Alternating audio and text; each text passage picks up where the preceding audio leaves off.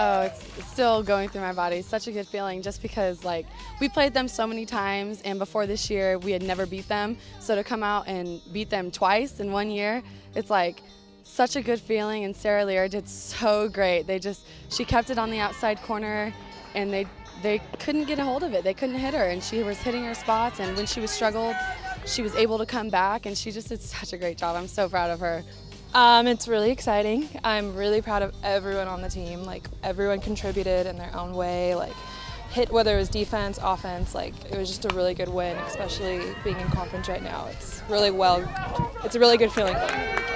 In the batting cages, Sarah and I we we're, we're partners every single every warm up, and so when we after we hit, usually we'll hit more tees and we were both like, man, I feel really good. Like I'm not. I was like, I'm not gonna hit tees right now, and she's like, oh, me neither. We're like, all right. And so we came in here and we just sat down and we kind of just hung out for a while. And so when I went up there, I just I've seen the ball, my timing was down, and it just felt so good off the bat, and I just had a feeling.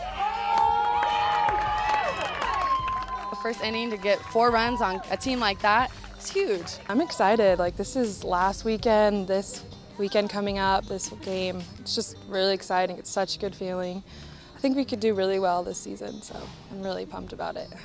This game was huge for us, especially going to play San Diego because they have really great pitching down there, and I know a lot of their pitchers, they like to stay outside. And so to see some really good pitching and to see outside and to see those change up and to get eight runs and be really successful as a whole, it was like so great. And I feel like if we go through this weekend and the rest of the season like that, there's no reason why we can't win conference. The final score here at Cottrell Field, St. Mary's Cal 2.